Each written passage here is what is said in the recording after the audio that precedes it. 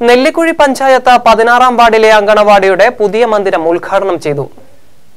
നെല്ലിക്കുഴി പഞ്ചായത്ത് പതിനാറാം വാർഡിലെ അങ്കണവാടിക്കായി നിർമ്മിച്ച പുതിയ കെട്ടിടത്തിന്റെ ഉദ്ഘാടനം ബ്ലോക്ക് പഞ്ചായത്ത് പ്രസിഡന്റ് റഷീദ സലീം നിർവഹിച്ചു.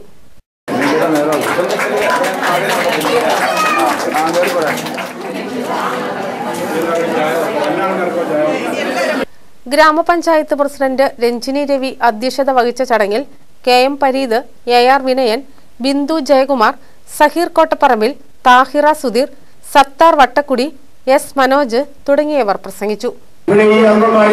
ഞങ്ങളെല്ലാം സഹപ്രവർത്തകർ പ്രസിഡന്റും ചെയർമാനുമടക്കമുള്ള ഞങ്ങളുടെ സഹപ്രവർത്തകർ നിരീക്ഷിച്ചു. ആദ്യം ഈ അംഗൻവാടിക്ക് സ്ഥലം ലഭ്യമാവുന്ന പ്രശ്നം ഉയർന്നു വന്നപ്പോൾ ആ സ്ഥലത്തിന് നിലം എന്ന പ്രശ്നം വന്നു. നിലത്ത് കെട്ടിടം പണിയാൻ കഴിയില്ലാത്ത സാഹചര്യം വന്നു.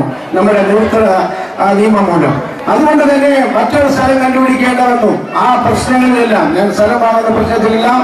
വാർഡ് മെമ്പർ ഒരു പുതിയ ജനപ്രതി എന്ന നിലയിൽ അക്ഷീണമായ പ്രവർത്തനത്തിന്റെ ഫലമാണ് ഇന്ന് ഈ anganwadi. Standing committee chairperson Mridula Janardhanan സ്വാഗതവും ബി എം ബിജു കൃതജ്ഞതയും പറഞ്ഞു. K C V news Nellikuzhi.